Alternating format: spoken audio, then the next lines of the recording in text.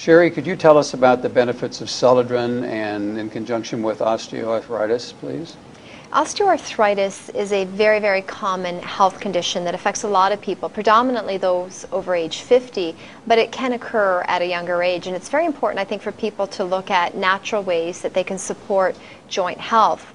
What's happening in the body with osteoarthritis is that you have a degeneration or a breakdown of the cartilage, which uh, is the cushioning material between your bones.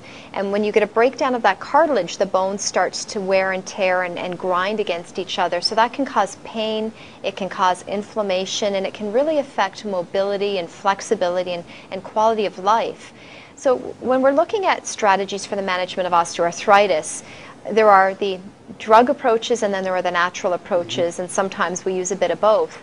The concern with using some of the drugs for osteoarthritis, the anti inflammatory drugs, is that they can be very hard on the stomach, they can cause bleeding ulcers, they can be hard on the kidneys and sometimes the liver, and there have actually been some um, heart problems associated with a group of drugs called the COX-2 inhibitors, which are a type of anti-inflammatory drug such as uh, Vioxx, which, were actually, which was actually pulled off the market.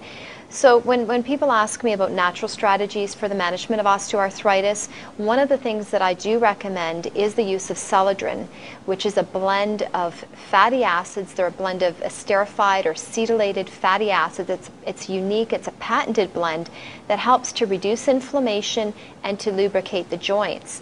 And this is something that I think can go hand in hand with the use of glucosamine. A lot of people are aware of the benefits of glucosamine in that it helps with cartilage repair and re regeneration and preventing cartilage loss. But Celadrin can um, work in a complementary way to help reduce the inflammation and to lubricate the joints. So I often recommend these two products together for those that are struggling with osteoarthritis.